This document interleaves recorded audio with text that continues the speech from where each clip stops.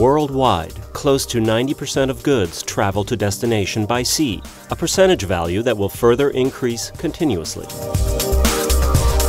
This forecast implies a growth in maritime traffic at sea and at inland waterways, and therefore an increased risk of maritime accidents. Currently, human factors account in part for 75 to 96% of casualties, so that there is an obvious need to avoid a surge in the latter due to the rise in traffic.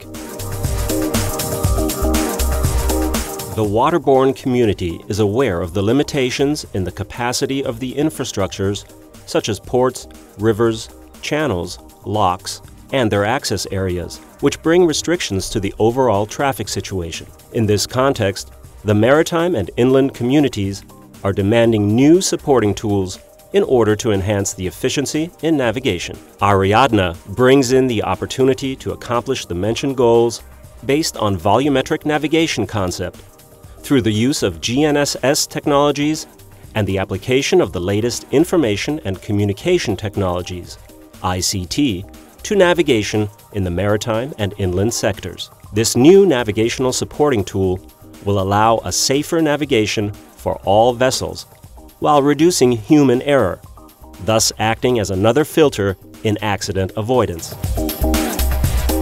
The revolutionary so-called volumetric navigation concept applied onto maritime and inland waters traffic is based on the development of a collaborative navigation tool that implements virtual safety volume envelopes, which are georeferenced, and Ariadna so does. The system associates Ariadna volumes to vessels and infrastructures, sharing and managing volumetric information among all the actors and elements involved in the specific coverage area.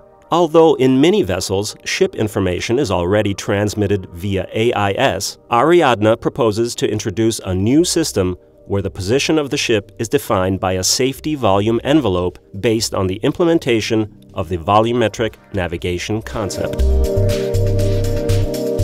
The geo-referenced safety volume provided by Ariadna is designed to be displayed on an ECDIS viewer, which supports the user to decide how to optimize the use of infrastructures, i.e. locks, ports, canals, and guide all parties involved in a safe way, facilitating escape maneuvering and thus also avoiding collisions and groundings.